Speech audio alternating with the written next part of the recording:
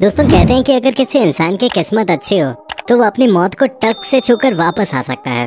वहीं अगर किसी की किस्मत खराब हो तो उसके सामने घर बैठे ही कोई बड़ी आफत आ सकती है।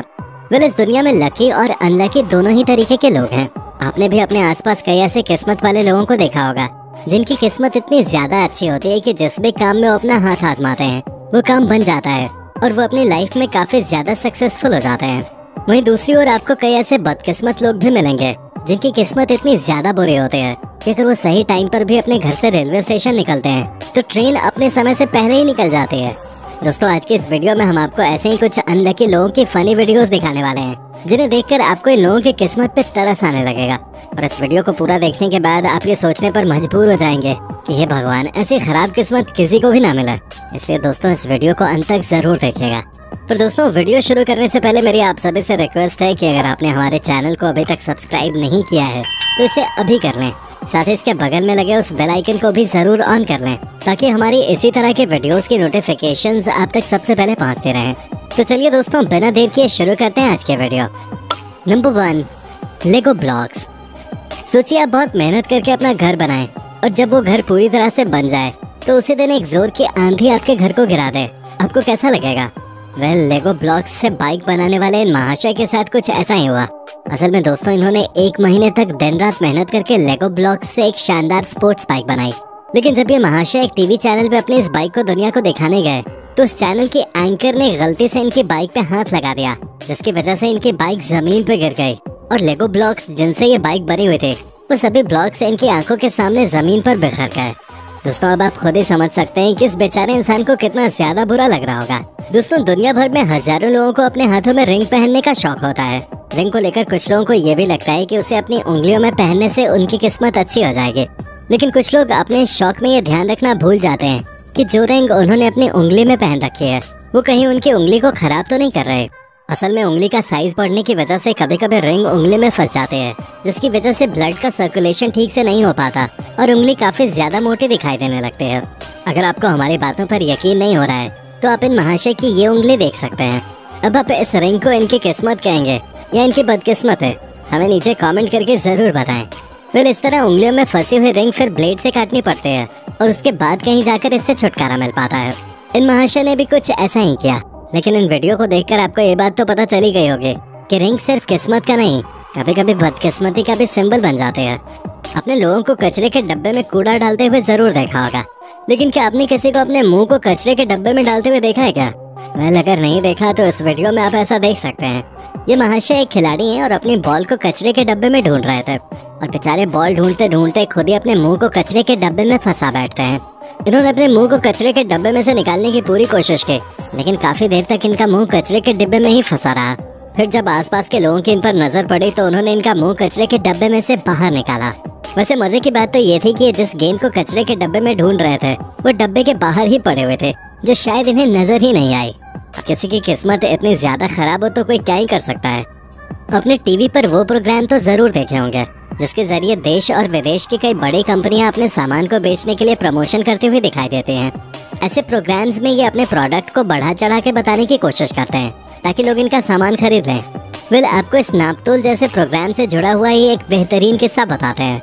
असल में कुछ हुआ यूँ कि एक मलेशियन होम शॉपिंग शो पे एक मशहूर मलेशियन एक्टर फोसिया गोस एक डिनर वेयर का प्रमोशन कर रहे होते हैं। वो इस तरह के शो को पहली बार होस्ट कर रहे थे। और तभी उन्होंने इस डिनर सेट की तारीफ़ करते हुए एक प्लेट को अपने हाथ में उठाया और कहा कि ये डिनर सेट इतना मज़बूत है। कि इसको कितनी भी ऊंचाई से गिरा दो, ये टूटेगा नहीं। ये कह के उन्होंने इस प्लेट को अपने हाथ से छोड़ दिया और वो ज़मीन पे गिरते ही चकनाचूर हो गए अब आप खुद ही समझ सकते हैं कि इसके बाद इस डिनर सेट बनाने वाली कंपनी की कितनी बिक्री हुई होगी। फूटी किस्मत किसे कहते हैं, ये आप इन मोहतरमा को देखकर समझ सकते हैं।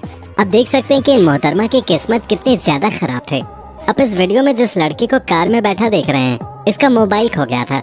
लेकिन इसकी किस्मत बहुत अच्छी थी कि इसका मोबाइल कार के दरवाजे में फंसा हुआ मिला। लेकिन वो कहते ना कि होने को कौन डाल सकता है? ऐसा ही कुछ यहाँ पे भी हुआ। कार के अंदर गायब हुआ इस लड़की का मोबाइल। लड़की को पंद्रह किलोमीटर आगे जाने के बाद कार के दरवाजे में फंसा हुआ मिल तो गया। लेकिन इतनी देर तक कार के दरवाजे में फंसे रहने की वजह से इस मोबाइल की स्क्रीन टूट चुके थे। मतलब इस लड़की की किस्मत अच्छी होने के बाद भी इस बेचारी की किस्मत लास्ट में आके फूटी गई। आपने शादी बारातों के दौरान होने वाले तमाम फनी किस्सों के बारे में सुना ही होगा कि कभी फूफा जी मुँह फुला के बैठ जाते हैं तो कहीं मौसी जी टल्ली होकर नागिन डांस करने लगते हैं। वेल, अब हम आपको जून 2009 में इंडिया से बाहर हुई एक शादी की वीडियो दिखाते हैं, जिसमें दूल्हा और दुल्हन ईसाई धर्म के रीति रिवाजों को फॉलो कर शादी के पवित्र बंधन में बंधने ही वाले होते हैं। कि अचानक लड़के के पिताजी, जो आपको काला कोट पहने नज़र आएँगे, उनके पैंट की हुक उन्हें धोखा दे देती है।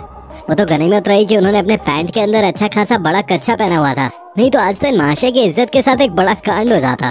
फ़िलहाल इसके बाद दूल्हा और दुल्हन दोनों की हँसी का ठिकाना ही नहीं रहा। और चर्च के अंदर लगे माइक पर इन दोनों की हँसी को चर्च में मौजूद सभी लोगों ने सुना। दोस्तों, क्या आपने कभी ट्रेन के विंडो सीट पर बैठकर या ट्रेन के गेट पर बैठकर लंबा सफ़र तय किया है क्या? क्या आपको ट्रेन की विंडो सीट या ट्रेन के गेट पर बैठकर बाहर के नज़ारे लेने में मज़ा आता है? वेल, अगर ऐसा है तो आपको भारतीय रेल की ये वीडियो ज़रूर देखनी चाहिए। दरअसल हुआ यूँ कि एक ट्रेन जिसका नाम श्रमजीवी एक्सप्रेस था। वो स्टेशन पे पहुँची तो वहाँ ट्रेनों की सफ़ाई करने के लिए इस्तेमाल की जाने वाली पानी की पाइपलाइन फट चुके थे, जिसकी वजह से उस पाइपलाइन से तेज धार में पानी बाहर आ रहा था।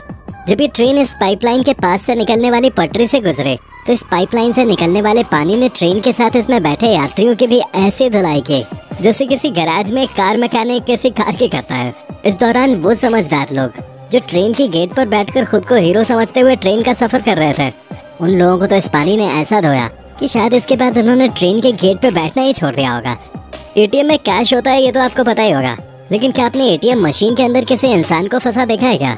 वेल अगर आपने एटीएम मशीन में किसी इंसान को फंसा नहीं देखा तो आप बिहार से आए इस वीडियो को देख सकते हैं।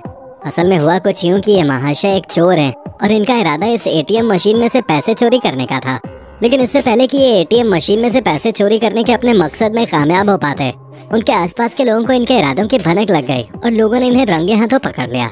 जब इन्हें लोगों ने एटीएम रूम के अंदर देखा तो ये एटीएम मशीन के अंदर बैठे हुए थे। अब ये एटीएम के अंदर घुसकर एटीएम में रखे हुए कैश की चोरी कैसे कर रहे थे, ये तो फ़िलहाल कोई नहीं समझ पाया, पर इनकी किस्मत में इन्हें अच्छी खासी सीख ज़रूर दे देते पत्रकारों का काम इतना आसान नहीं होता, क्योंकि इन्हें हर तरीके की जगहों पे जाकर रिपोर्टिंग करनी पड़ती है। हर हाल में रिपोर्टिंग करने के चक्कर में पत्रकार कुछ ऐसी गलतियाँ कर बैठते हैं, जो कभी कभी उन्हें काफ़ी ज़्यादा भारी भी पड़ जाते हैं। वेल आप इस वीडियो में भी देख सकते हैं कि ये पत्रकार लाइव रिपोर्टिंग करने में इतने ज़्यादा बिज़ी हो गए थे कि भूल ही गए कि ये रोड पे हैं और उस रोड पे ट्रैफ़िक भी चल रहा है।